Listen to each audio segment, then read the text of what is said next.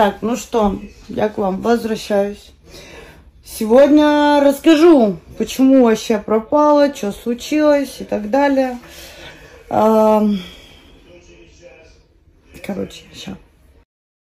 Заключается в том, что когда я сняла бандаж, естественно, начали писать, вот, никаких изменений, ну, мозгов у людей, ну, как бы, ноль просто, реально.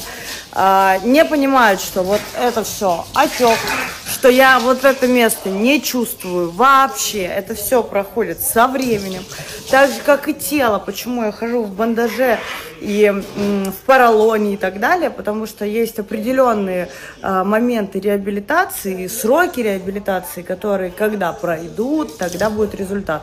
Но все но все ждут чуда, думают, что если пластическую операцию сделали, то все, секунда и все прекрасно. Нет, так не бывает. После операции еще больше отек, чем был до этого. У меня сейчас отекшее все.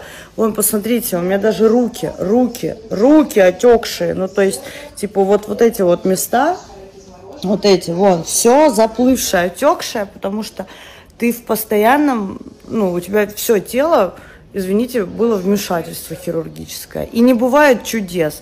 Надо подождать время, пройти реабилитацию, определенные процедуры, и тогда мы уже увидим результат.